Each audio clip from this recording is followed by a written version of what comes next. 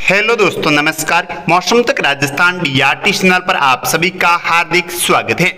आइए दोस्तों, बात करते हैं तूफ़ान बिपरजॉय के प्रभाव से। आज रात राजस्थान के किन किन इलाकों में होने वाली है बारिश की गतिविधियाँ और किन किन इलाकों में आज रात तूफानी हवाओं के साथ होने वाली है भारी बारिश की गतिविधियाँ। ये संपूर्ण जानकारी आपको इसी वीडियो में दी जाएगी। तो दोस्तों, वीडियो को अंत तक ज़रूर देखें। और यदि आप चैनल पर नए हैं तो आप अपने चैनल मौसम तक राजस्थान डीआरटी को सब्सक्राइब ज़रूर करें, क्योंकि इस चैनल पर राजस्थान के मौसम से जुड़ी हर अपडेट समय समय पर सटीकता के साथ मिलती रहेगी। तो दोस्तों, आप कमेंट करके ज़रूर बताएँ कि आपके इलाके में इस तूफ़ान के प्रभाव से किस प्रकार की बारिश की गतियाँ हुई और आपके इलाके का कैसा रहा मौसम। तो वर्तमान में देखा जाए तो शाम साढ़े सात बजे के अनुसार राजस्थान के किन किन इलाकों में बारिश की गतियाँ जारी हैं और इस तूफ़ान के प्रभाव से आज राजस्थान के किन किन इलाकों में होने वाली हैं बारिश की गतिविधियाँ।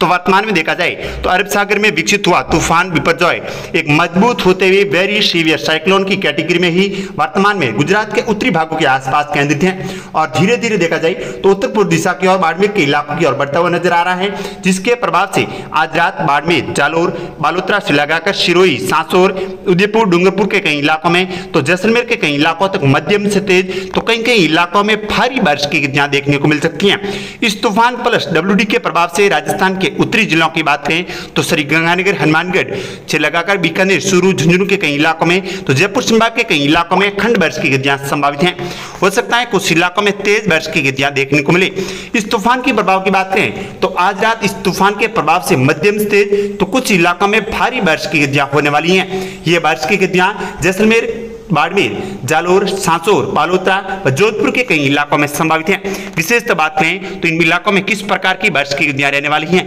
क्योंकि तूफ़ान जैसे ही गुजरात से आगे बढ़ा है तो ये मज़बूत होते हुए नज़र आ रहा है, क्योंकि इन क्षेत्रों में वायुदाब और तापमान प्लस इन क्षेत्रों में पर्याप्त मात्रा में नमी मौजूद होने के कारण तूफ़ान कमज़ोर होने के बावजूद उल्टा मज़बूत हुआ है, जिसके प्रभाव से इन क्षेत्रों में आपको भारी तेज हवाओं के साथ अतिवृष्टि की गतिविधियाँ बाड़मेर, जालोर सांसों से लगाकर बालोतरा के कई इलाकों में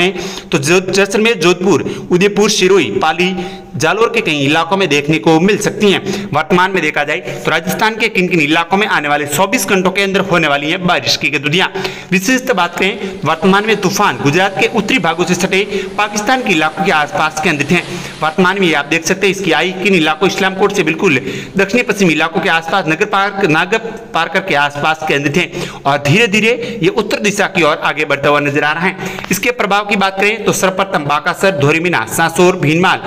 सुराना के आसपास से लगाकर इन संपूर्ण क्षेत्रों में कई कई इलाकों में तूफानी हवाओं के साथ तेज बारिश की घटनाएँ तो कई कई इलाकों में बूंदाबांदी के साथ भारी बारिश की घटनाएँ देखने को मिल सकती हैं। थराद राधनपुर से लगाकर पालनपुर के आसपास अबूरोड सिरोही, भीनमाल, जालोर के कई इलाकों में रानी, वायड़, पाली, सोजत, बालोत्रा, बाड़मेर, बायतू के आसपास इलाकों की बात करें तो इन संपूर्ण क्षेत्रों में कहीं कहीं खंड बारिश की तो कुछ इलाकों में मूसलाधार बारिश की देखने को मिल रही हैं।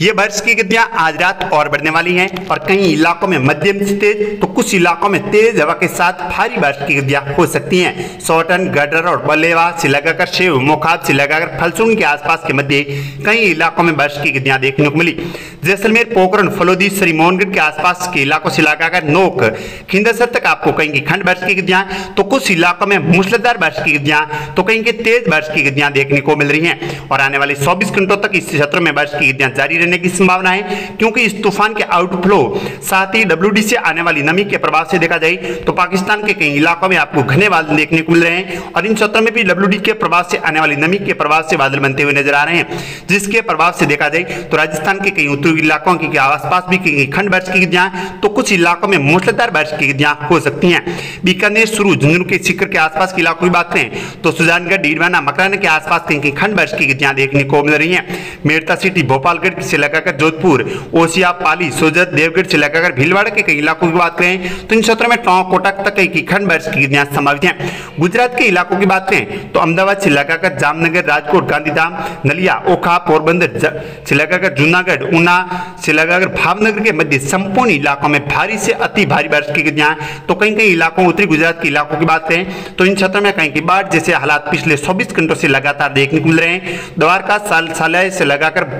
जामनगर, मोरबी गांधीधाम भुज, मंडावी के आसपास संपूर्ण इलाकों में भारी से अति भारी बारिश की जहाँ पिछले कई घंटों से लगातार देखने को मिल रही है, जिसके प्रभाव से इन क्षेत्रों में जल भराव जैसी स्थिति भी बनी हुई है। और राजस्थान के बाड़मेर, जालोर, सांसोर, बालोत्रा, पाली, सिरोही, राजसमंद के इलाकों की बात करें तो इन क्षेत्रों में भी कई कई इलाकों में भारी बारिश की गतियों के साथ साथ मूसलाधार तो कई कई इलाकों में अतिवृष्टि की गतिविधियाँ, तेज तूफानी हवाओं के साथ आने वाले 24 घंटों के अंदर संभावित हैं। तो दोस्तों, मौसम तक राजस्थान डीआरटी सेंटर पर अब के लिए इतना ही। थैंक यू दोस्तों, नमस्कार, जय हिंद, जय भारत।